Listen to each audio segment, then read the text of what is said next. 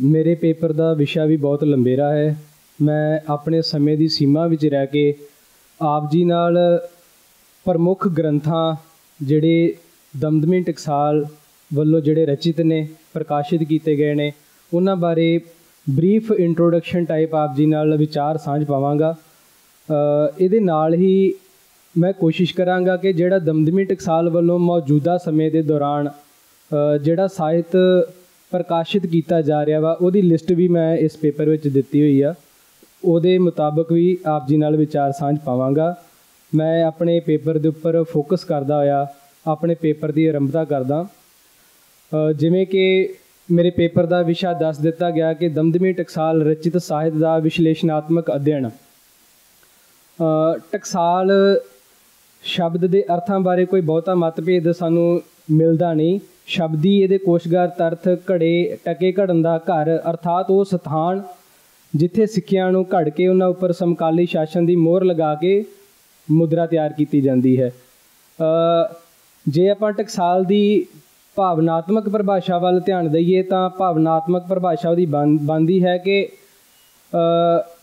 ਸਿੱਖ ਪੰਥ ਨੂੰ ਸਮਰਪਿਤ ਉਹ ਸੰਸਥਾ ਜੋ ਸਾਧਾਰਨ ਚੇਤਨਾ ਨੂੰ ਮਨੁੱਖੀ ਜੀਵਨ ਦੇ ਅੰਤਮ ਲਕਸ਼ ਦੀ ਪ੍ਰਾਪਤੀ ਹਿੱਤ ਅਧਿਆਤਮਕ ਪੰਥ ਦੇ ਅੰਤਰਗਤ ਸਜਗ ਕਰਕੇ ਘੜਨ ਦੀ ਸੰਪੂਰਨ ਪ੍ਰਕਿਰਿਆ ਦੀ ਵਿਵਹਾਰਕਤਾ ਸਹਿਤ ਗੁਰਮੁਖ ਬਣਾਵੇ ਨੂੰ ਟਕਸਾਲ ਕਿਹਾ ਜਾ ਸਕਦਾ ਹੈ। ਉਪਰੋਕਤ ਪ੍ਰਕਿਰਿਆ ਦੀ ਵਿਵਹਾਰਕਤਾ ਦੇ ਉਦੇਸ਼ ਦੀ ਪੂਰਤੀ ਹਿੱਤ ਸ੍ਰੀ ਗੁਰੂ ਗੋਬਿੰਦ ਸਿੰਘ ਸਾਹਿਬ ਜੀ ਦੁਆਰਾ ਸਥਾਪਿਤ ਕੀਤੀ ਦਮਦਮੀ ਟਕਸਾਲ ਆਪਣੀ ਅਹਿਮ ਭੂਮਿਕਾ ਨਿਭਾ ਰਹੀ ਹੈ। ਦਮਦਮੀ ਟਕਸਾਲ ਨੇ ਗੁਰਬਾਣੀ ਦੇ ਪਾਠ ਅਰਥ ਬੋਧ ਗੁਰਮਤ ਸਿਧਾਂਤ, ਸਿੱਖ ਪਰੰਪਰਾਵਾਂ, ਸਿੱਖ ਰਹਿਤ ਮਰਿਆਦਾ, ਗੁਰਬਾਣੀ ਕੀਰਤਨ, ਸਿੱਖ ਇਤਿਹਾਸ, ਨਾਮ ਸਿਮਰਨ, ਸੇਵਾ ਆਦ ਗੁਣਾ ਸਹਿਤ ਸੰਸਾਰਿਕ ਤੇ ਅਧਿਆਤਮਿਕ ਗਿਆਨ ਨਾਲ ਸ਼ਰਸ਼ਾਰ ਗੁਰਮੁਖ ਰੂਹਾਂ ਨੂੰ ਪੈਦਾ ਕੀਤਾ ਅਤੇ ਸਮੁੱਚੀ ਮਨੁੱਖਤਾ ਦੇ ਕਲਿਆਣ ਲਈ ਸਿੱਖ ਪੰਥ ਦੇ ਪ੍ਰਚਾਰ ਤੇ ਪ੍ਰਸਾਰ ਹਿੱਤ ਤੋਰਿਆ। ਧਰਮ ਅਧਿਐਨ ਤੇ ਅਧਿਆਪਨ ਲਈ ਕੇਂਦਰੀ ਭੂਮਿਕਾ ਜਿਹੜੀ ਉਹਦੀ ਸ਼ਬਦ ਦੀ ਹੁੰਦੀ ਹੈ ਤੇ ਸ਼ਬਦੀ ਅੱਗੇ ਜਾ ਕੇ ਅਧਿਐਨ ਤੇ ਅਧਿਆਪਨ ਦਾ ਮੁੱਖ ਧਰੋਹਰ ਹੋਰ ਨਿਬੜਦਾ ਹੈ। ਅਧਿਐਨ ਤੇ ਅਧਿਆਪਨ ਵਿੱਚ ਕੇਂਦਰੀ ਭੂਮਿਕਾ ਅਧਿਐਨ ਦੀ ਹੁੰਦੀ ਹੈ, ਦਮਦਮੀ ਟਕਸਾਲ। ਇਸੇ ਮੁੱਖ ਨੁਕਤੇ ਨੂੰ ਲੈ ਕੇ ਅਧਿਐਨ ਵੀ ਕਰਦੀ ਹੈ ਤੇ ਅਧਿਆਪਨ ਦੇ ਖੇਤਰ ਵਿੱਚ ਕਾਰਜਸ਼ੀਲ ਹੈ। ਇਸ ਦੀ ਪ੍ਰਮੁੱਖ ਤੇ ਪ੍ਰਤੱਖ ਉਦਾਹਰਨ ਸੰਤ ਗਿਆਨੀ ਹਰਨਾਮ ਸਿੰਘ ਖਾਲਸਾ ਜੀ ਦੁਆਰਾ ਚਲਾਈ ਹੋਈ ਹੈ ਜਿਹੜੀ ਸੈਮੀਨਾਰਾਂ ਦੀ ਲੜੀ ਹੈ, ਇਹ ਪ੍ਰਮੁੱਖ ਤੇ ਪ੍ਰਤੱਖ ਉਦਾਹਰਨ ਹੈ। ਅੱਜ ਦੇ ਇਸ ਸੈਮੀਨਾਰ ਵਿੱਚ ਜਿਹੜਾ ਮੇਰੇ ਖੋਜ ਪਰਚੇ ਦਾ ਜਿਹੜਾ ਵਿਸ਼ਾ ਮੈਂ ਸਾਂਝਾ ਕਰ ਚੁੱਕਾ ਹਾਂ ਜਿਹੜੇ ਗ੍ਰੰਥਾਂ ਦਾ ਜ਼ਿਕਰ ਮੈਂ, ਪੁਸਤਕਾਂ ਦਾ ਜ਼ਿਕਰ ਇਸ ਪਰਚੇ ਵਿੱਚ ਕੀਤਾ, ਉਹਨਾਂ ਦੀ ਗਿਣਤੀ ਮੈਂ 15 ਦੇ ਕਰੀਬ ਕੀਤੀ ਹੋਈ ਹੈ। ਸਭ ਤੋਂ ਪਹਿਲਾ ਮੇਰੇ ਗ੍ਰੰਥ ਦੀ ਇਸ ਵਿਸ਼ਲੇਸ਼ਣ ਦੀ ਲੜੀ ਵਿੱਚ ਪਹਿਲਾ ਗ੍ਰੰਥ ਸ੍ਰੀ ਗੁਰਮੁਖ ਪ੍ਰਕਾਸ਼, ਉਹ ਆਉਂਦਾ ਹੈ। ਸ੍ਰੀ ਗੁਰਮੁਖ ਪ੍ਰਕਾਸ਼ ਗ੍ਰੰਥ ਕਿਸੇ ਖਾਸ ਸੰਪਰਦਾ ਦੀ ਮਲਕੀਅਤ ਨਹੀਂ, ਮੈਂ ਸਮਝਦਾ, ਕਿਉਂਕਿ ਸਗੋਂ ਸਿੱਖ ਪੰਥ ਦਾ ਕੌਮੀ ਸਰਮਾਇਆ ਹੈ, ਕਿਉਂਕਿ ਮਹਾਂਪੁਰਖ ਸਮੁੱਚੀ ਮਨੁੱਖਤਾ ਦੇ ਸਾਂਝੇ ਰਹਿਬਰ ਹੁੰਦੇ ਨੇ, ਸਾਂਝੇ ਮਹਾਂਪੁਰਖ ਹੁੰਦੇ ਨੇ, ਜਿਹੜੇ ਸਮੁੱਚੀ ਮਨੁੱਖਤਾ ਦੇ ਕਲਿਆਣ ਹਿੱਤ ਉਹਨਾਂ ਨੂੰ ਅਗਵਾਈ ਸੇਧਾਂ ਜਿਹੜੇ ਬਖਸ਼ਿਸ਼ ਕਰਦੇ ਨੇ। ਇਸ ਵਿੱਚ ਗੁਰੂ ਸਾਹਿਬਾਨ ਦੇ ਜੀਵਨ ਬਿਰਤਾਂਤ, ਅਨਮੋਲ ਰਤਨਾ, ਮਹਾਂਪੁਰਖਾਂ ਦੀਆਂ ਜੀਵਨ ਝਲਕਾਂ, ਦਮਦਮੀ ਟਕਸਾਲ ਸੰਪਰਦਾ ਦੀ ਬੰਸਾਵਲੀ ਬਿਉਰਾ ਖਾਲਸਾ ਪੰਥ ਦੀ ਜੀਵਨ ਸ਼ੈਲੀ, ਸਿੱਖ ਇਤਿਹਾਸ, ਅਰੰਭਲੇ ਪੜਾਅ ਤੋਂ ਲੈ ਕੇ ਅਜੋਕੇ ਕਾਲ ਤੱਕ ਪੰਥਕ ਮਸਲਿਆਂ ਉੱਪਰ ਗਿਆਨਾਤਮਕ ਚਿੰਤਨ ਭਰਪੂਰ ਵਿਚਾਰ ਗੁਰੂ ਗੋਬਿੰਦ ਸਿੰਘ ਦੁਆਰਾ ਚਲਾਈ ਹੋਈ ਟਕਸਾਲ ਦੇ ਉਗਮਨ ਕਾਲ ਤੋਂ ਲੈ ਕੇ ਵਿਗਾਸ ਤੱਕ ਪਰਫੁੱਲਤਾ ਨੂੰ ਪਦ ਰੂਪ ਵਿੱਚ ਤਰਤੀਬਬੱਧਤਾ ਸਹਿਤ ਪਰੋਇਆ ਹੋਇਆ ਹੈ। ਇਹ ਵੱਡਕਾਰੀ ਗ੍ਰੰਥ ਦੇ ਕੇਵਲ ਦਰਸ਼ਨ ਕਰਨ ਨਾਲ ਹੀ ਇਹਦੀ ਅਮੀਰੀ ਦਾ ਅਹਿਸਾਸ ਸਮੂਹ ਸੰਗਤ ਨੂੰ ਦਰਸ਼ਨ ਕਰਨ ਵਾਲੇ ਨੂੰ ਹੋ ਜਾਂਦਾ ਹੈ। ਜੇਕਰ ਇਹ ਕਹਿ ਲਿਆ ਜਾਵੇ ਕਿ ਇਸ ਗ੍ਰੰਥ ਨੇ ਸਮੁੱਚੇ ਸਿੱਖ ਪੰਥ ਨੂੰ ਸਵੈ ਵਿੱਚ ਸਮਾਇਆ ਹੋਇਆ ਹੈ ਤਾਂ ਕੋਈ ਅਤਕਥਨੀ ਨਹੀਂ।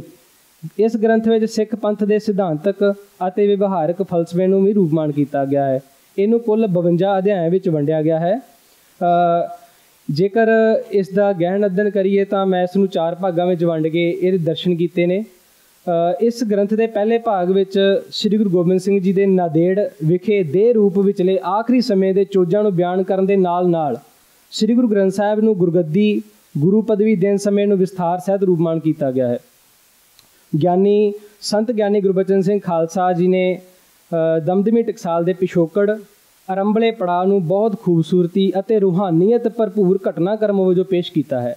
ਇਸ ਦੇ ਤਹਿਤ ਗੁਰਬਾਣੀ ਦਾ ਅਦਬ, ਪੰਜ ਪਿਆਰਿਆਂ ਦੇ ਪਿਛੋਕੜ 48 ਸਿੰਘਾਂ ਦੀ ਸੂਚੀ ਜਿਨ੍ਹਾਂ ਨੇ ਦਮਦਮਾ ਟਕਸਾਇਆ ਦਮਦਮਾ ਸਾਹਿਬ ਦੀ ਧਰਤੀ ਉੱਪਰ ਗੁਰੂ ਗੋਬਿੰਦ ਸਿੰਘ ਜੀ ਦੁਆਰਾ ਸ੍ਰੀ ਗੁਰੂ ਗ੍ਰੰਥ ਸਾਹਿਬ ਜੀ ਦੇ ਅਰਥਾਂ ਨੂੰ ਸਮਝਣ ਦਾ ਯਤਨ ਕੀਤਾ, ਉਹ, ਉਹਨਾਂ ਦੀ ਜਿਹੜੀ ਸੂਚੀ ਵੀ ਇਸ, ਇਹਦੇ ਵਿੱਚ ਗ੍ਰੰਥ ਵਿੱਚ, ਮਹਾਨ ਗ੍ਰੰਥ ਵਿੱਚ ਪੇਸ਼ ਕੀਤੀ ਹੈ। ਇਸੇ ਭਾਗ ਵਿੱਚ ਸੰਤ ਗਿਆਨੀ ਗੁਰਬਚਨ ਸਿੰਘ ਖਾਲਸਾ ਜੀ ਨੇ ਇੱਕ ਬ੍ਰਾਹਮਣ ਨਾਲ ਹੋਏ ਗੂੜ ਗਿਆਨਮਈ ਵਾਰਤਾਲਾਪ ਨੂੰ ਕਲਮਬੰਦ ਕੀਤਾ ਹੈ, ਜਿਸ ਵਿੱਚ ਮਨ, ਬੁੱਧੀ, ਬ੍ਰਹਮ, ਧਰਮ, ਬ੍ਰਹਿਮੰਡ, ਆਤਮਾ, ਤਪ, ਗਿਆਨ ਆਦਿ ਵਰਗੇ ਜਿਹੜੇ ਸੂਖਸ਼ਮ ਸੰਕਲਪ ਆ ਉਹਨਾਂ ਸੰਬੰਧੀ ਬ੍ਰਾਹਮਣ ਵੱਲੋਂ ਪੁੱਛੇ ਗਏ ਪ੍ਰਸ਼ਨਾਂ ਦੇ ਉੱਤਰ ਸੰਤ ਜੀ ਨੇ ਵੇਦਾਂ ਦੇ ਅਨੁਸਾਰ ਜਿਹੜਾ ਉਹਨਾਂ ਨੇ ਗਿਆਨਾਤਮਕ ਪ੍ਰਪੇਖ ਦੀ ਦੀ ਕਾਫੀਅਤ ਜਿਹੜੀ ਵਾਕਫੀਅਤ ਜਿਹੜੀ ਹਾਸਲ ਇਸ ਪ੍ਰਸੰਗ ਤੋਂ ਸਾਨੂੰ ਕਾਫੀ ਹੁੰਦੀ ਹੈ। ਇਸੇ ਭਾਗ ਵਿੱਚ ਬਾਬਾ ਗੁਰਮੁਖ ਸਿੰਘ ਜੀ ਡੇਮਰੂ ਦੁਆਰਾ ਰਚਿਤ ਪ੍ਰੇਮ ਕਵਿਤਾ ਦਾ ਉਲੇਖ ਮਿਲਦਾ ਹੈ, ਜਿਹਦੇ ਵਿੱਚ ਸਾਨੂੰ ਪ੍ਰੇਮ ਨੂੰ ਰੱਬੀ ਪਰਮਾਰਥ ਦਾ ਸਰਵ ਉਚਿਤ ਮਾਰਗ ਤਸਵਰ ਕਰਕੇ ਪ੍ਰੇਮ ਪ੍ਰਾਪਤੀ ਦੇ ਸੋਮੇ ਨੂੰ ਵੀ ਦ੍ਰਿੜ ਕਰਵਾਇਆ ਹੈ। ਉਪਰੰਤ ਪ੍ਰਸ਼ਨਾਵਲੀ ਵਿਧਾ ਰਾਹੀਂ ਰਾਗਮਾਲਾ ਦੀ ਮਹਾਨਤਾ ਉਸ ਦੇ ਪਰਮਾਰਥਕ ਤੇ ਅੰਤਰੀਵੀ ਅਰਥ ਨੂੰ ਰੂਪਮਾਨ ਕੀਤਾ ਹੈ। ਰਾਗਮਾਲਾ ਦੇ ਅਧਿਆਤਮਕ ਤੇ ਰੂਹਾਨੀਅਤ ਭਰਪੂਰ ਅਰਥ ਜਗਿਆਸੂ ਸਾਧਕ ਲਈ ਮਾਰਗਦਰਸ਼ਕ ਬਣਦੇ ਹਨ। ਇਸ ਭਾਗ ਵਿੱਚ ਅੰਤਲਾ ਵਿਸ਼ਾ ਰਾਮਕਲੀ ਸਦ ਹੈ। ਇਸ ਦੀ ਉਥਾਨਕਾਂ ਨੂੰ ਸ੍ਰੀ ਗੁਰਪ੍ਰਤਾਪ ਸੂਰਜ ਗ੍ਰੰਥ ਦੇ ਹਵਾਲੇ ਸਹਿਤ ਸੰਤਾਂ ਨੇ ਜਿਹੜਾ ਇਸ ਗ੍ਰੰਥ ਵਿੱਚ ਰੂਪਮਾਨ ਕੀਤਾ ਹੈ। ਦੂਸਰੇ ਭਾਗ ਦੇ ਆਰੰਭ ਵਿੱਚ ਇਸ ਗ੍ਰੰਥ ਨੂੰ ਰਚਨ ਦੇ ਪ੍ਰਯੋਜਨ ਨੂੰ ਸਪਸ਼ਟ ਕਰਕੇ ਗੁਰੂ ਨਾਨਕ ਸਾਹਿਬ ਤੋਂ ਗੁਰੂ ਗੋਬਿੰਦ ਸਿੰਘ ਤੱਕ ਦੇ ਜੀਵਨ ਬਿਰਤਾਂਤ ਨੂੰ ਬੜੀ ਸੂਤਰਕ ਸ਼ੈਲੀ ਵਿੱਚ ਸੰਤਾਂ ਨੇ ਪੇਸ਼ ਕੀਤਾ।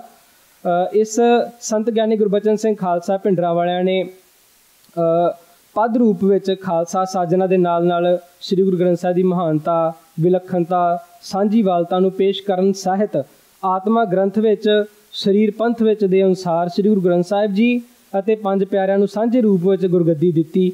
ਇਹ ਜਿਹੜੀ ਘਟਨਾ ਦਾ ਬੜਾ ਵਿਸ਼ੇਸ਼ ਜਿਹੜਾ ਸੰਤਾਂ ਨੇ ਸ੍ਰੀ ਗੁਰ ਗੁਰਮੁਖ ਪ੍ਰਕਾਸ਼ ਵਿੱਚ ਜ਼ਿਕਰ ਕੀਤਾ ਹੈ। ਇਸ ਤੋਂ ਉਪਰੰਤ ਬਾਬਾ ਬੰਦਾ ਸਿੰਘ ਬਹਾਦਰ ਦੁਆਰਾ ਖਾਲਸਾ ਰਾਜ ਦਾ ਵਿਸ਼ੇਸ਼ ਉਲੇਖ ਪ੍ਰਾਪਤ ਹੈ। ਮਿਸਲਾਂ ਦੇ ਸਮੇਂ ਦਾ ਬਿਰਤਾਂਤ ਮਹਾਰਾਜਾ ਰਣਜੀਤ ਸਿੰਘ ਦੇ ਰਾਜ ਦੀ ਵਿਥਿਆ, ਸਿੱਖ ਪਤਨ ਦੇ ਕਾਰਨ ਸਿੱਖ ਲਹਿਰਾਂ, ਨਿਰੰਕਾਰੀ ਨਿਰਮਲੇ ਸੇਵਾ ਪੰਥੀ ਨਾਮਧਾਰੀ, ਕੂਕੇ, ਸਿੰਘ ਸਭਾ ਆਦ ਦਾ ਬੜੀ ਬਾਖੂਬੀ ਤੇ ਵਿਦਵਤਾ ਭਰਪੂਰ ਜਿਹੜਾ ਉਹਨਾਂ ਨੇ ਇਹਦੇ ਵਿੱਚ ਜਿਹੜਾ ਜ਼ਿਕਰ ਕੀਤਾ ਹੈ। ਸੰਖੇਪ ਵਿੱਚ ਕਹਿ ਸਕਦੇ ਹਾਂ ਕਿ ਗਿਆਨੀ, ਸੰਤ ਗਿਆਨੀ ਗੁਰਬਚਨ ਸਿੰਘ ਜੀ ਨੇ ਸਿੱਖ ਪੰਥ ਦੇ ਹੋਂਦ ਵਿੱਚ ਆਉਣ ਦੇ ਕਾਰਨ ਗੁਰੂ ਨਾਨਕ ਸਾਹਿਬ ਤੋਂ ਲੈ ਕੇ 1950 ਈਸਵੀ ਤੱਕ ਦੇ ਸਿੱਖ ਇਤਿਹਾਸ ਨੂੰ ਇਸ ਗ੍ਰੰਥ ਵਿੱਚ ਸਮਾਇਆ ਹੋਇਆ ਹੈ। ਅਜਿਹਾ ਵੱਡਮੁੱਲਾ ਤੇ ਵਾਡਾਕਾਰੀ ਕਾਰਜ ਕੋਈ ਸਾਧਾਰਨ ਪੁਰਸ਼ ਨਹੀਂ ਕਰ ਸਕਦਾ। ਇਸ ਗ੍ਰੰਥ ਦੀ ਜਿਹੜੀ ਤਰਤੀਬਬੱਧਤਾ ਸੰਸਾਰਕ ਤੇ ਰੂਹਾਨੀਅਤ ਦੀ ਸੁਮੇਲਤਾ, ਸਹਿਤ, ਗਿਆਨਾਤਮਕ ਚਿੰਤਨ ਇਸ ਦੇ ਰਚੇਤਾ ਨੂੰ ਸਧਾਰਨ ਧਰਾਤਲੀ ਪੱਧਰ ਤੋਂ ਉੱਚਾ ਉਠਾ ਕਿਸੇ ਰੂਹਾਨੀ ਮੰਡਲ ਦਾ ਵਸਨੀਕ ਗਰਦਾਨਦੀ ਹੈ। ਇਹਦੇ ਤੀਸਰੇ ਭਾਗ ਵਿੱਚ ਅ, ਰੂਹਾਨੀਤ ਮੰਡਲ ਦੀਆਂ ਵਸਨੀਕ ਰੂਹਾਂ ਦੇ ਜੀਵਨ ਬਿਰਤਾਂਤ ਨੂੰ ਵਿਸਥਾਰ ਸਹਿਤ ਦੱਸਿਆ ਗਿਆ ਜਿਹਦੇ ਵਿੱਚ ਸੰਤ ਗਿਆਨੀ ਸੁੰਦਰ ਸਿੰਘ ਜੀ ਬ੍ਰਹਮ ਗਿਆਨੀ ਮਹਾਂਪੁਰਖਾਂ ਦੇ ਦੇਹਗਤ ਸਮੁੱਚੇ ਜੀਵਨ ਕਾਲ ਵਿਚਲੀਆਂ ਬਚਪਨ ਤੋਂ ਲੈ ਕੇ ਅੰਤਮ ਸਵਾਸਾਂ ਤੱਕ ਦੀਆਂ ਘਟਨਾਵਾਂ ਚੋਜਾਂ ਤੇ ਅਵਸਥਾਵਾਂ ਦਾ ਜ਼ਿਕਰ ਕੀਤਾ ਗਿਆ ਹੈ।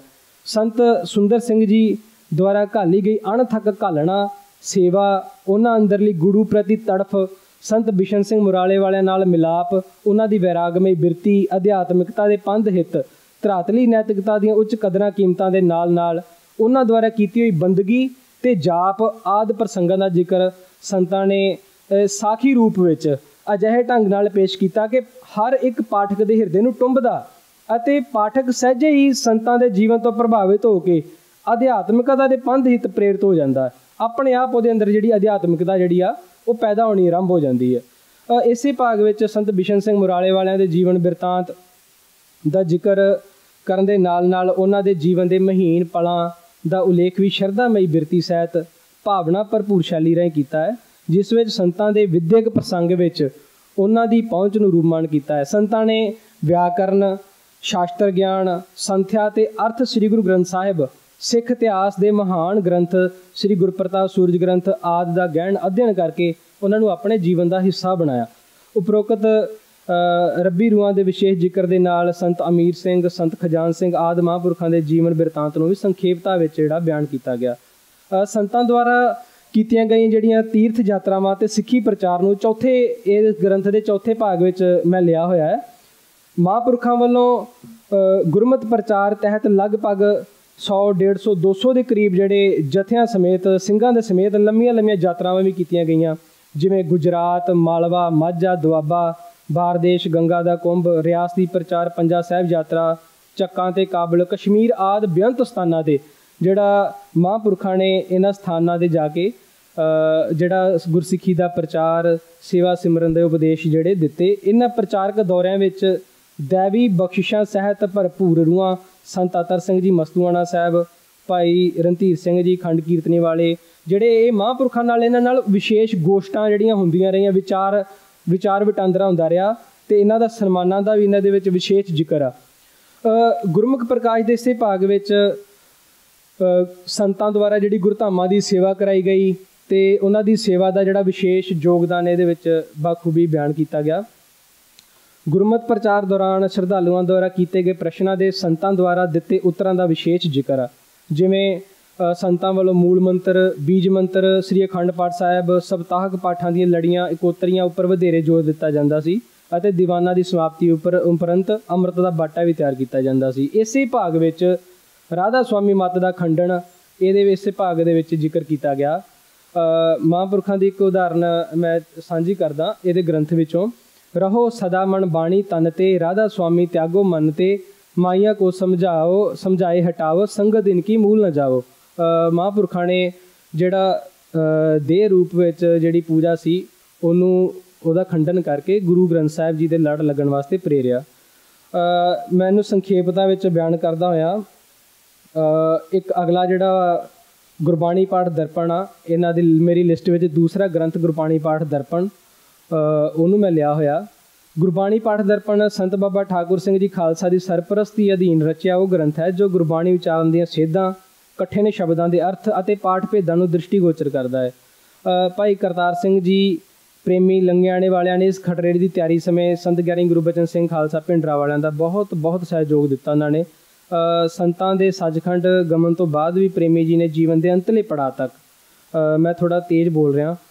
ਮੈਂ ਚਾਹੁੰਦਾ ਕਿ ਜਿਹੜੇ ਦਮਦਮੀ ਟਕਸਾਲ ਦੇ ਪ੍ਰਮੁੱਖ ਜਿਹੜੇ ਗ੍ਰੰਥ ਨੇ, ਜਿਹੜੇ ਜਿਨ੍ਹਾਂ ਨੂੰ, ਜਿਹੜੇ ਆਧਾਰਭੂਤ ਨੇ, ਉਹਨਾਂ ਦਾ ਜ਼ਿਕਰ ਆਪ ਜੀ ਨਾਲ ਵਿਚਾਰ ਸਾਂਝੇ ਪਾਚਾਂ ਬਾਕੀ ਇਸ ਤੋਂ ਜਿਹੜਾ ਜ਼ਿਕਰ ਪੁਸਤਕਾਂ ਦਾ ਉਹ ਮੇਰੇ ਪਰਚੇ ਵਿੱਚ ਕੀਤਾ ਗਿਆ ਹੈ। ਸੰਤਾਂ ਦੇ ਸੱਚਖੰਡ ਗਮਨ ਤੋਂ ਬਾਅਦ ਪ੍ਰੇਮੀ ਜੀ ਨੇ ਜੀਵਨ ਦੇ ਅੰਤਲੇ ਪੜਾਅ ਤੱਕ ਅਣਥੱਕ ਹਲਣਾ ਲਗਾਤਾਰ ਬਣਾਈ ਰੱਖੀ। ਸੰਗਤਾਂ ਦੀਆਂ ਰਿਕਾਰਡਡ ਕਥਾਵਾਂ ਨੂੰ ਸਰਵਣ ਕਰਕੇ ਅਤੇ ਪ੍ਰੇਮੀ ਜੀ ਦੁਆਰਾ ਤਿਆਰ ਖਰੜੇ ਨੂੰ ਆਧਾਰ ਬਣਾ ਕੇ ਇਹ ਗ੍ਰੰਥ ਜਿਹੜਾ ਹੋਂਦ ਵਿੱਚ ਆਇਆ। ਇਸ ਗ੍ਰੰਥ ਨੂੰ ਦੋ ਭਾਗਾਂ ਵਿੱਚ ਮੈਂ ਦੇਖਣ ਦਾ ਯਤਨ ਕੀਤਾ। ਇਸ ਗ੍ਰੰਥ ਦੇ ਪਹਿਲੇ ਭਾਗ ਵਿੱਚ 10 ਗੁਰੂ ਸਾਹਿਬਾਨ ਦੀ ਬੰਸਾਵਲੀ ਨੂੰ ਸੰਖੇਪਤਾ ਪ੍ਰਦਾਨ ਕਰਦੇ ਹੋਏ ਗੁਰਮਤ ਦੀ ਰਹਿਣੀ ਬਹਿਣੀ ਬਾਰੇ ਸਰਲਤਾ ਸਹਿਤ ਸੰਸਕਾਰਾਂ ਨੂੰ ਰੂਪਮਾਨ ਕੀਤਾ ਗਿਆ। ਜਿਵੇਂ ਜਨਮ ਸੰਸਕਾਰ, ਵਿਦਿਆ ਸੰਸਕਾਰ, ਅੰਮ੍ਰਿਤ ਸੰਸਕਾਰ, ਆਨੰਦ ਸੰਸਕਾਰ, ਅੰਤਮ ਸੰਸਕਾਰ ਦੀ ਮਹਾਨਤਾ, ਆਵਸ਼ਕਤਾ, ਮਰਿਆਦਾ ਆਦ ਨੂੰ ਗੁਰੂ ਇਤਿਹਾਸ ਤੇ ਪਰੰਪਰਾਗਤ ਸਾਖੀਆਂ ਦੀਆਂ ਉਦਾਹਰਨਾਂ ਸਹਿਤ ਜਨ ਜਾਤੀ ਦੇ ਮਸਤਕ ਦਾ ਭਾਗ ਬਣਾਉਣਾ ਇਸ ਗ੍ਰੰਥ ਦੀ ਵੱਡ ਮੁੱਲੀ ਦੇਣ ਹੈ। ਇਸ ਗ੍ਰੰਥ ਦਾ ਜਿਹੜਾ ਪ੍ਰਥਮ ਭਾਗ ਸਿਧਾਂਤਕਤਾ ਤੇ ਵਿਵਹਾਰਿਕਤਾ ਦਾ ਅਟੁੱਟ ਸੰਗਮ ਹੈ। ਇਸ ਗ੍ਰੰਥ ਵਿੱਚੋਂ ਉਗਮ ਰਹੇ ਵਿਵਹਾਰਿਕ ਗਿਆਨ ਨੇ ਸਮੁੱਚੀ ਮਨੁੱਖਤਾ ਨੂੰ ਆਪਣੇ ਪ੍ਰਕਾਸ਼ ਰਹੀ ਪ੍ਰਕਾਸ਼ਿਆ ਤੇ ਅਜੋਕੇ ਸਮੇਂ ਵਿੱਚ ਵੀ ਇਹ ਲਗਾਤਾਰ ਵਹਿਣ ਵਿੱਚ ਹੈ। ਇਸ ਗ੍ਰੰਥ ਵਿੱਚ ਗੁਰਮਤਿ ਦੀ ਰਹਿਤ ਮਰਿਆਦਾ ਨੂੰ ਸਰਲਤਾ, ਸਪਸ਼ਟਤਾ ਸਪਸ਼ਟਤਾ ਸਹਿਤ ਸਧਾਰਨ ਚੇਤਨਾ ਦਾ ਹਿੱਸਾ ਬਣਾਇਆ ਗਿਆ। ਗੁਰਮਤਿ ਰਹਿਤ ਮਰਿਆਦਾ ਦੇ ਪ੍ਰਤੀਕ ਪੱਖ ਨੂੰ ਬਾਦ ਦਲੀਲ ਤੇ ਸ਼ਰਧਾ ਦੀ ਰੋਸ਼ਨੀ ਵਿੱਚ ਵਿਖਿਆਉਣ ਦਾ ਸਿਹਰਾ ਦਮਦਮੀ ਟਕਸਾਲ ਦੇ ਮਹਾਂਪੁਰਖਾਂ ਦੇ ਹਿੱਸੇ ਹੀ ਆਉਂਦਾ ਹੈ। ਜਿਵੇਂ ਚਾਰ ਬੱਜਰ ਕੁਰੈਤਾਂ ਦਾ ਜ਼ਿਕਰ ਦੀ ਗੱਲ ਕਰਦੇ ਆ ਤਾਂ ਬੱਜਰ ਕੁਰੈਤਾਂ ਦੇ ਨਾਲ ਇਹਦੀ ਭਰਪੂਰ ਜਾਣਕਾਰੀ, ਇਹਦੀ ਪੈਦਾਇਸ਼, ਜਿਵੇਂ ਤਮਾਕੂ ਦੀ ਗੱਲ ਜੇ ਦੱਸੀ ਗਈ ਤਾਂ ਤਮਾਕੂ ਬਾਰੇ ਉਹਦੀ ਪੈਦਾਇਸ਼ ਕਿੱਥੋਂ ਹੋਈ, ਉਹਦਾ ਸਰੀਰ ਦੇ ਉੱਪਰ ਇਫੈਕਟ ਕੀ ਆ, ਕਿਸ ਹੱਦ ਤੱਕ ਬੁਰੀ ਆ ਇਹਦਾ ਜਿਹੜਾ ਜ਼ਿਕਰ ਆ, ਵਿਸ਼ੇਸ਼ ਜ਼ਿਕਰ ਆ, ਇਹਦਾ ਇਸ ਗ੍ਰੰਥ ਵਿੱਚ ਕੀਤਾ ਗਿਆ, ਜਿਵੇਂ ਗੁਰਪ੍ਰਤਾਪ ਸੂਰਜ ਗ੍ਰੰਥ ਵਿੱਚ ਇੱਕ ਹਵਾਲਾ ਤਨਕ ਤਮਾਕੂ ਸੇਵੀ ਹੈ ਦੇਵ ਪਿਤਰ ਤਜ ਜਾਏ, ਪਾਣੀ ਤਾਂ ਕੇ ਹੱਥ ਕਾ, ਮਦਰਾ ਸਮ ਹੋ ਜਾਏ। ਧੂਮਰ ਅਗੇ ਸਕੰਦ ਪੁਰਾਣ ਦਾ ਸੰਤਾਂ ਨੇ ਹਵਾਲਾ ਦਿੱਤਾ, ਧੂਮਰ ਪਾਣੰਗ ਰਤੰਗ ਵਿਪਰੰਗ ਦਾਣੰਗ ਦਿਜੰਤੀ ਜੇ ਨਰਾ, ਦਾਤਾ ਗੌਰਵੇ ਜਾਤਿਯੰ ਬ੍ਰਾਹਮਣੰ ਗ੍ਰਾਮ ਸੁ ਸ਼ੁਕਰ ਹੈ ਸੰਸਕਾਰਾਂ ਤੋਂ ਉਪਰੰਤ ਇਸ ਭਾਗ ਵਿੱਚ ਪਾਠ ਦੀ ਮਰਿਆਦਾ ਦੇ ਸੰਪੂਰਨ ਵਿਧੀ ਵਿਧਾਨ ਨੂੰ ਰੂਪਮਾਨ ਕੀਤਾ ਗਿਆ, ਜਿਵੇਂ ਲਗਭਗ 6 ਪ੍ਰਕਾਰ ਦੇ ਲਗਭਗ ਪਾਠਾਂ ਦਾ ਜਿਹੜਾ ਜ਼ਿਕਰ ਇਸ ਗ੍ਰੰਥ ਵਿੱਚ ਸੰਤਾ ਮਹਾਂਪੁਰਖਾਂ ਨੇ ਕੀਤਾ। ਪਹਿਲਾ ਸਧਾਰਨ ਪਾਠ, ਦੂਸਰਾ ਸ੍ਰੀ ਅਕੰਡ ਪਾਠ, ਤੀਸਰਾ ਸੰਪੜ ਪਾਠ ਚੌਥਾ ਸਪਤਾਹਕ ਪਾਠ, ਪੰਜਵਾਂ ਕਥਾ ਪ੍ਰਦਾਨ ਅਰਥਾਂ ਸੰਯੁਕਤ, ਛੇਵਾਂ ਸ੍ਰੀ ਦਸਮ ਗ੍ਰੰਥ ਜੀ। ਜਿਹੜੇ ਇਹ ਛੇ ਪ੍ਰਕਾਰ ਦੇ ਪਾਠਾਂ ਦਾ ਵਿਧੀ ਵਿਧਾਨ ਤੇ ਸੰਪੂਰਨ ਮਰਿਆਦਾ ਇਸ ਗ੍ਰੰਥ ਵਿੱਚ ਕਵਿਤਾ ਰੂਪ ਵਿੱਚ ਮਹਾਂਪੁਰਖਾਂ ਨੇ ਜਿਹੜੀ ਅੰਕਿਤ ਕੀਤੀ ਆ। ਉਪਰੋਕਤ ਹਰ ਪ੍ਰਕਾਰ ਦੇ ਪਾਠ ਦੇ ਵਿਧੀ ਵਿਧਾਨ ਨਿਯਮਾਵਲੀ ਨੂੰ ਬੜੀ ਸਰਲਤਾ ਸਹਿਤ ਪੇਸ਼ ਕੀਤਾ ਤਾਂ ਜੋ ਜਿਹੜੀ ਸਾਧਾਰਨ ਚੇਤਨਾ ਦਾ ਵੀ ਹਿੱਸਾ ਹੈ ਬਣ ਸਕੇ। ਇਸ ਤੋਂ ਮੈਂ ਅਗਲਾ ਸ਼ੁਰੂ ਕਰਦਾ ਆਪਣਾ ਵੀ ਇਸ ਗ੍ਰੰਥ ਦੇ ਦੂਸਰੇ ਭਾਗ ਵਿੱਚ ਗੁਰਬਾਣੀ ਦੇ ਪਾਠਕਾਂ, ਵਿਦਿਆਰਥੀਆਂ ਕਥਾ ਵਾਚਕਾਂ ਲਈ ਅਤੀ ਸੁਖੈਨਤਾ ਤੇ ਸਰਲਤਾ ਨਾਲ ਉਚਾਰਨ ਸੇਧਾਂ ਦਿੱਤੀਆਂ ਗਈਆਂ। ਸਮੇਂ, ਸਥਾਨ ਤੇ ਪ੍ਰਸੰਗਕਤਾ ਨੂੰ ਮੁੱਖ ਰੱਖ ਕੇ ਕਿਸ ਸ਼ਬਦ ਨੂੰ ਭਾਰਾ ਬੋਲਣਾ ਹੌਲਾ ਕਰਕੇ ਬੋਲਣਾ ਵਾ, ਪੋਲਾ ਬੋਲਣਾ, ਜਾਂ ਕਿਸ ਸ਼ਬਦ ਨੂੰ ਇਕੱਠਾ ਉਚਾਰਨ ਕਰਨਾ, ਜਾਂ ਕਿਸੇ ਸ਼ਬਦ ਉੱਪਰ ਅਧਿਕ ਜਾਂ ਅਧਿਕ ਲਾਉਣਾ ਜਾਂ ਅਗੇਤਰ ਲਗਾ ਕੇ ਉਚਾਰਨ ਕਰਨਾ, ਇਹ ਵਿਕਾਰ, ਵਿਆਕਰਨ ਇਕਾਈਆਂ ਨੂੰ ਸੁਖੈਣ ਢੰਗ ਨਾਲ ਰੂਪਾਨ ਕੀਤਾ। ਇਹਦੇ ਵਿੱਚ ਉਦਾਹਰਨਾਂ ਵੀ ਦਿੱਤੀਆਂ ਗਈਆਂ। ਸਿੱਟੇ ਵਜੋਂ ਕਹਿ ਸਕਦੇ ਹਾਂ ਕਿ ਇਹ ਗ੍ਰੰਥ ਸੰਤ ਸਪਾਈ ਦੀ ਘਾੜਤ ਘੜਨ, ਗਿਆਨ ਮੂਲਕ ਪ੍ਰਸ਼ਨਾਂ ਦੇ ਸ਼ਰਧਾਮਈ ਰੌਸ਼ਨੀ ਤਹਿਤ ਉੱਤਰ, ਵਿਆਕਰਨ ਦੇ ਉਚਾਰਨ ਸਿੱਧਾਂ ਦੇ ਸਹਿਤ ਕਠਿਨ ਸ਼ਬਦਾਵਲੀ ਨੂੰ ਸਰਲਤਾ ਸਦ ਵਿਖਾਉਣ ਲਈ ਅਤੀ ਸਾਰਥਕ ਭੂਮਿਕਾ ਨਿਭਾਉਂਦਾ ਹੈ। ਮੇਰੇ ਇਸ ਲੜੀ ਦੇ ਵਿੱਚ ਤੀਸਰਾ ਗ੍ਰੰਥ ਦਾ ਜ਼ਿਕਰ ਕਰਕੇ ਮੈਂ ਥੋੜਾ ਸਮਾਪਤੀ ਵੱਲ ਆਵਾਂਗਾ। ਸ੍ਰੀ ਗੁਰੂ ਗ੍ਰੰਥ ਸਾਹਿਬ ਜੀ ਸਟੀਕ ਪਹਿਲੀ ਪੋਥੀ। ਇਹਦੇ ਬਾਰੇ ਮੈਂ ਆਪ ਜੀ ਨਾਲ ਵਿਚਾਰ ਸਾਂਝੇ ਪਾਉਣਾ ਸ੍ਰੀ ਗੁਰੂ ਗ੍ਰੰਥ ਸਾਹਿਬ ਜੀ ਸਟੀਕ ਅਨਮੋਲ ਗ੍ਰੰਥ ਆ, ਜਿਹੜਾ ਸੰਤ ਬਾਬਾ ਠਾਕੁਰ ਸਿੰਘ ਜੀ ਅਗਵਾਈ ਵਿੱਚ ਦੂਸਰੀ ਵਾਰ ਜਨਵਰੀ 1991 ਈਸਵੀ ਵਿੱਚ ਗੁਰਦੁਆਰਾ ਗੁਰਦਰਸ਼ਨ ਪ੍ਰਕਾਸ਼ ਮਹਿਤਾ ਸ੍ਰੀ ਅੰਮ੍ਰਿਤਸਰ ਵਿਖੇ ਪ੍ਰਕਾਸ਼ਿਤ ਕੀਤਾ ਗਿਆ। ਇਹ ਨਵੰਬਰ, ਇਹ ਪਹਿਲੀ ਵਾਰ ਗ੍ਰੰਥ 1974 ਈਸਵੀ ਵਿੱਚ ਪ੍ਰਕਾਸ਼ਿਤ ਕੀਤਾ ਗਿਆ ਸੀ। ਇਸ ਗ੍ਰੰਥ ਦੇ ਕਰਤਾ ਸੰਤ ਗਿਆਨੀ ਕਰਤਾਰ ਸਿੰਘ ਜੀ ਖਾਲਸਾ ਹਨ। ਵਿਆਖਿਆਕਾਰੀ ਦਾ ਇਹ ਕਾਰਜ ਸੰਤ ਗਿਆਨੀ ਗੁਰਬਚਨ ਸਿੰਘ ਜੀ ਨੇ ਹੀ ਜਥੇ ਦੇ ਸਿੰਘਾਂ ਦੀ ਬੇਨਤੀ ਪੂਰੀ ਪ੍ਰਾਰੰਭ ਕਰ ਦਿੱਤਾ ਸੀ। ਪਰੰਤੂ ਰੱਬੀ ਬੁਲਾਵਾ ਜਾਣ ਕਾਰਨ ਰਹਿੰਦੇ ਕਾਰਜ ਦੀ ਸੇਵਾ ਸੰਤ ਗਿਆਨੀ ਕਰਤਾਰ ਸਿੰਘ ਜੀ ਦੇ ਹਿੱਸੇ ਆਈ। ਇਸ ਗ੍ਰੰਥ ਦੀ ਅੰਦਰੂਨੀ ਗਵਾਹੀ ਮੁਤਾਬਕ ਸ੍ਰੀ ਗੁਰੂ ਗੋਬਿੰਦ ਸਿੰਘ ਜੀ ਤੋਂ ਸੀਨਾ ਬਸੀਨਾ ਚੱਲੀ ਆ ਰਹੀ ਅਰਥਾਵਲੀ ਇਸ ਗ੍ਰੰਥ ਨੂੰ ਗ੍ਰੰਥ ਦੀ ਬੁਨਿਆਦ ਹੈ। ਇਸ ਗ੍ਰੰਥ ਦੇ ਪ੍ਰਾਰੰਭ ਵਿੱਚ ਸ੍ਰੀ ਗੁਰੂ ਗ੍ਰੰਥ ਸਾਹਿਬ ਨਾਮ ਅੰਮ੍ਰਿਤ ਨਾਮ 10 ਗੁਰੂ ਸਾਹਿਬਾਨ ਦੇ ਮੰਗਲਾਂ ਉਪਰੰਤ ਸੰਤ ਗਿਆਨੀ ਗੁਰਬਚਨ ਸਿੰਘ ਖਾਲਸਾ ਦਾ ਮੰਗਲ ਵੀ ਕੀਤਾ ਗਿਆ ਹੈ। ਉਪਰੰਤ ਇਸ ਗ੍ਰੰਥ ਨੂੰ ਰਚਨ ਦਾ ਪ੍ਰਯੋਜਨ ਅਤੇ ਪ੍ਰਾਰੰਭਿਕ ਨਿਮਰ ਭਾਵੀ ਬੇਨਤੀ ਰੂਪ ਸ਼ਬਦਾਂ ਦਾ ਜ਼ਿਕਰ ਕੀਤਾ। ਇਸ ਤੋਂ ਉਪਰੰਤ ਗ੍ਰੰਥ ਦਾ ਮੂਲਕ ਤੇ ਕੇਂਦਰੀ ਭਾਗ ਪ੍ਰਾਰੰਭ ਹੁੰਦਾ ਹੈ, ਜਿਸ ਵਿੱਚ ਸ੍ਰੀ ਜਪਜੀ ਸਾਹਿਬ ਰਹਿਰਾ ਸਾਹਿਬ, ਕੀਰਤਨ ਸੋਲਾ, ਬਾਣੀ ਦੇ ਸਟੀਕ ਦਿੱਤੇ ਗਏ ਨੇ। ਇਹ ਜਿਹੜਾ ਇਹ ਗ੍ਰੰਥ ਪਰਮਾਰਥਕ, ਦਿਬਤਾ, ਭਰਪੂਰ, ਵਿਵਹਾਰਕ ਗਿਆਨ ਨਾਲ ਓਤ-ਪੋਤ ਗ੍ਰੰਥ ਆ। ਦਮਦਮੀ ਟਕਸਾਲ ਦਾ ਅਨਮੋਲ ਖਜ਼ਾਨਾ, ਹਰ ਵਰਗ, ਚਿੰਤਕ, ਕਥਾਕਾਰ, ਜਗਿਆਸੂ, ਸਾਧਕ ਲਈ ਅਤੀ ਲੋੜਿੰਦਾ ਤੇ ਸਾਰਥਕ ਹੈ। ਜੇ ਇਸ ਜੇ ਇਸ ਨੂੰ ਰੂਹਾਨੀਅਤ ਤੇ ਦਾਰਸ਼ਨਿਕਤਾ ਦੇ ਸੰਗਮ ਦਾ ਸਮੁੰਦਰ ਕਹਿ ਲਿਆ ਜਾਵੇ ਤਾਂ ਇਹ ਵੀ ਕੋਈ ਅਤਕਥਨੀ ਨਹੀਂ। ਦਮਦਮੀ ਟਕਸਾਲ ਦਾ ਉਥਾਨ ਵਿਗਾਸ ਸੰਪਰਦਾਇਕ ਬੰਸਾਵਲੀ, ਕਾਰਜਸ਼ੀਲਤਾ ਤੇ ਮਨੁੱਖਤਾ ਨੂੰ ਦੇਣ ਆਦ ਵਿਸ਼ਿਆਂ ਪ੍ਰਤੀ ਬਹੁਮੁੱਲੇ ਗਿਆਨ ਦੀ ਪ੍ਰਾਪਤੀ ਜਿਹੜੀ ਹੈ ਇਸ ਗ੍ਰੰਥ ਵਿੱਚੋਂ ਜਿਹੜੀ ਰੂਪਮਾਨ ਹੁੰਦੀ ਹੈ ਇਸ ਗ੍ਰੰਥ ਦੀ ਟੀਕਾਕਾਰੀ ਬਾਰੇ ਆਪ ਜੀ ਨਾਲ ਦੋ ਵਿਚਾਰਾਂ ਦੀ ਸਾਂਝ ਪਾਉਣਾ ਇਸ ਗ੍ਰੰਥ ਦੇ ਬੁਨਿਆਦੀ ਸਰੋਕਾਰ ਜਿਹੜੇ ਆ ਤੁਰਕੀ ਬਾਣੀ, ਗੁਰਮਤ ਦੇ ਸਿਧਾਂਤਕ ਤੇ ਵਿਵਹਾਰਿਕ ਪ੍ਰਵੇਗ ਪ੍ਰਪੇਖ ਅਨੁਰੂਪ ਸੁਖੈਨਤਾ ਤੇ ਸਰਲਤਾ ਸਰਲਤਾ ਸਹਿਤ ਵਿਆਖਿਆ ਕੇ ਸਾਧਾਰਨ ਚੇਤਨਾ ਦਾ ਹਿੱਸਾ ਬਣਾਉਣਾ ਹੈ। ਇਸੇ ਪ੍ਰਯੋਜਨ ਦੇ ਤਹਿਤ ਸ੍ਰੀ ਗੁਰੂ ਗ੍ਰੰਥ ਸਾਹਿਬ ਜੀ ਦੀ ਟਕਸਾਲੀ ਟੀਕਾਕਾਰੀ ਦਾ ਕਾਰਜ ਸੰਤਾਂ ਵੱਲੋਂ ਪ੍ਰਾਰੰਭ ਕੀਤਾ ਗਿਆ। ਇਹ ਗ੍ਰੰਥ ਨਿਰੋਲ ਟੀਕਾਕਾਰੀ ਤੱਕ ਮਹਦੂਦ ਨਹੀਂ, ਰਹਿੰਦਾ ਸਗੋਂ ਵਿਆਖਿਆ ਦੀਆਂ ਵਿਭਿੰਨ ਵਿਧਾਵਾਂ ਰਾਹੀਂ ਜਨ ਜਾਤੀ ਦੇ ਹਿਰਦੇ ਦਾ ਭਾਗ ਬਣਦਾ ਹੈ। ਜਿਵੇਂ ਕਿ ਮੇਰੇ ਅਧਿਆਪਕ, ਜਿਵੇਂ ਡਾਕਟਰ ਭਜਨ ਸਿੰਘ ਉਹਨਾਂ ਨੇ ਕਿਹਾ ਕਿ ਨਵੀਨਤਾ ਦੇ ਪਰੰਪਰਾ ਦਾ ਜਿਹੜੀ ਇਹ ਸੁਮੇਲਤਾ ਦੀ, ਨਵੀਨਤਾ ਦਾ ਪ੍ਰਾਰੰਭ ਵੀ ਦਮਦਮੀ ਟਕਸਾਲ ਦੇ ਵਿੱਚੋਂ ਹੁੰਦਾ ਵਾ। ਜਿਵੇਂ ਇੱਕ ਇਹਦੇ ਵਿੱਚ ਆਪਣੇ ਸੰਤਾਂ ਨੇ ਅਰਥ ਕੀਤੇ, ਅੱਖੀ ਬਾਜੋਂ ਵੇਖਣਾ ਜਿਹੜਾ ਸ਼ਬਦ ਆ, ਉਸ ਤੋਂ ਕਦੇ 21 ਵਾਰ ਅਰਥ ਕੀਤੇ ਗਏ ਨੇ। ਉਹ ਬਹੁਤ ਵਿਦਵਤਾ ਭਰਪੂਰ ਤੇ ਉਹਦੇ ਵਿੱਚ ਰੂਹਾਨੀਅਤ ਭਰਪੂਰ ਅਰਥ ਕੀਤੇ ਗਏ ਨੇ। ਵੀ ਸਾਧਕ, ਚਿੰਤਕ, ਇੱਕ ਜਿਹੜਾ ਮਾਡਰਨ ਦੇ ਅਨੁਸਾਰ ਅਸੀਂ ਜਿਹੜਾ ਉਹਦੇ ਵਿੱਚੋਂ ਅਰਥਾਂ ਦੀ ਜਿਹੜੀ ਆ, ਸ਼ੁਰੂਆਤ ਜਿਹੜੀ ਉਸੇ ਲੜੀ ਦੇ ਵਿੱਚੋਂ ਪ੍ਰਾਰੰਭ ਹੋ ਜਾਂਦੀ ਆ। ਇਹ ਗ੍ਰੰਥ ਨਿਰੋਲ ਟੀਕਾਕਾਰੀ ਤੱਕ ਮਹਦੂਦ ਨਹੀਂ ਰਹਿੰਦਾ। ਸਗੋਂ ਵਿਆਖਿਆ ਦੀਆਂ ਵਿਭਿੰਨ ਵਿਧਾਵਾਂ ਰਾਹੀਂ ਜਨ ਜਾਤੀ ਦੇ ਹਿਰਦੇ ਦਾ ਭਾਗ ਬਣਦਾ। ਟਕਸਾਲੀ ਗਿਆਨੀ ਸੰਪਰਦਾਇਕ ਵਿਆਖਿਆਕਾਰੀ ਦਾ ਸਰਵ ਸਾਂਝਾ ਨਿਯਮ ਜਿਹੜਾ ਸਾਰੇ ਗਿਆਨੀ ਪ੍ਰਣਾਲੀ ਨਾਲ ਸੰਬੰਧਿਤ ਮਹਾਂਪੁਰਖਾਂ ਨੇ ਅਪਣਾਇਆ, ਪ੍ਰਸ਼ਨਾਵਲੀ ਵਿਧਾ ਰਾਹੀਂ ਗੁਰਮਤਿ ਦਾ ਪ੍ਰਚਾਰ ਤੇ ਪ੍ਰਸਾਰ ਕਰਨਾ। ਇਹਦਾ ਜਿਹੜਾ ਵਿਲੱਖਣਤਾ ਹੈ ਇਸ ਟੀਕਾਕਾਰੀ ਦੀ।